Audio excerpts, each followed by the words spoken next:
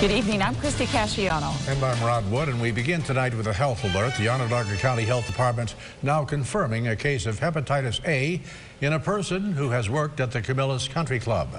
Health officials say anyone who had food or drinks between October 13th to the 24th may have been exposed to the virus. Those who've been fully vaccinated are protected. The health department is urging anyone who may have eaten at the Camillus Country Club during that time frame to give them a call beginning tomorrow morning at 8.30. Here's their number. It's 315-435-5752. For further details, head to the News Channel 9 app.